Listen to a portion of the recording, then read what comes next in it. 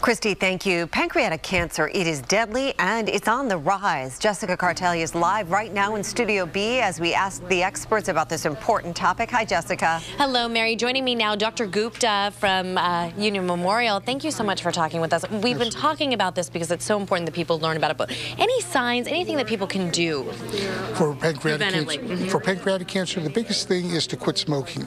That seems to be the number one association with this cancer. Uh, by quitting smoking, you not only prevent pancreatic cancer, but you prevent a whole bunch of other cancers. Other than that, the key is to keep your blood sugars at the normal range. Uh, diabetes has been associated with it, and then avoiding alcohol. Chronic pancreatitis has been another big risk factor for uh, developing pancreatic cancer. You were saying one of the hardest parts about this type of cancer is that by the time people realize they have it. Exactly. The symptoms, unfortunately, are very mild. When this thing starts, patients essentially have no uh, symptoms at all.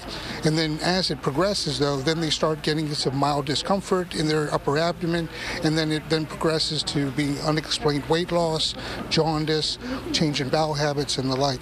And so it's a really a silent killer because by the time you develop symptoms, unfortunately, it's oftentimes spread. Dr. Gupta, thank you so much for being here, and I'm going to send it back to you guys in the studio. Okay, Jessica, thank you. And once again, if you have questions about cancer, you can ask the experts.